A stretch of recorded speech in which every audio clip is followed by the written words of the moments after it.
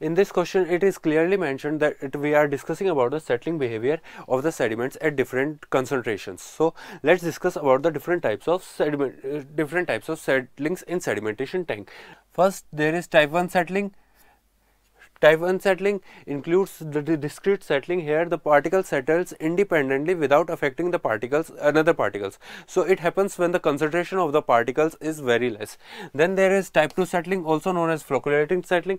This happens when the concentration is uh, much a little higher than the type, type 1 concentration. Here the, as the particle settles, they gets flocculated with the particles already present and hence when the particle settles their size increases increasing their their velocity as well. Then comes the type 3 settling. In type 3 settling also known as zone settling, the zone of influence of the one particle settling affects the zone of influence of the other particle. Hence the settlement is affected by each other particles and they settle as a zone. And in type 4 settling also known as compression settling, the, uh, the weight of the settling particles settling above the concerned particles influence the influence the settling of the particle below it. So, this this is known as compression settling. In compression settling, the concentration of the particles is very high. Thus, it is generally used in sludge thickening as, such processes. Now, let's discuss about discrete settling.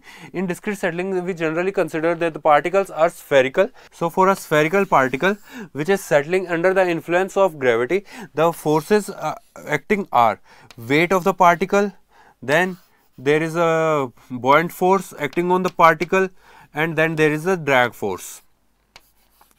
These three forces are in equilibrium with each other, hence there is no acceleration. Thus, the uh, velocity created is constant velocity. We term this velocity as the terminal velocity, and this terminal velocity is derived as 4 by 3 g minus 1 g d square upon coefficient of drag. This equation is used to find the terminal settling velocity. And this CD coefficient of drag depends on the Reynolds number. Uh, thus its graph graphical representation is given th like this. For spherical particles.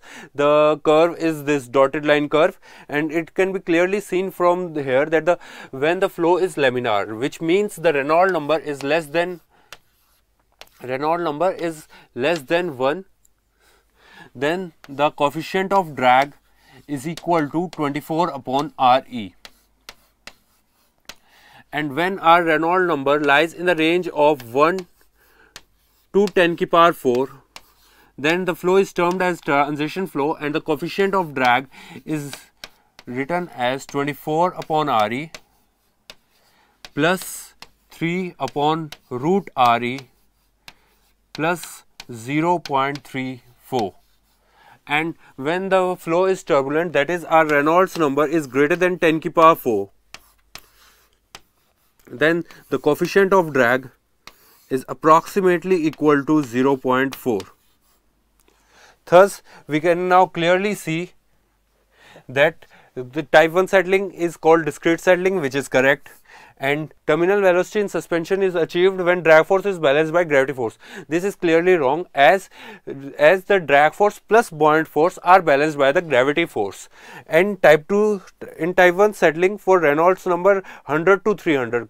Yes, this range is within the range of transition of 1 to 10 to the power 4. 1 to 10 to the power 4. So, this statement is also correct and in type 2 velocity of flux does not remain terminal. Yes, since the velocity keeps on increasing we, does, we do not uh, term it as uh, the terminal velocity and its velocity is keeps on increasing is is found by column settling method. Hence, option C D is also correct. So, the answer would be A, C and D.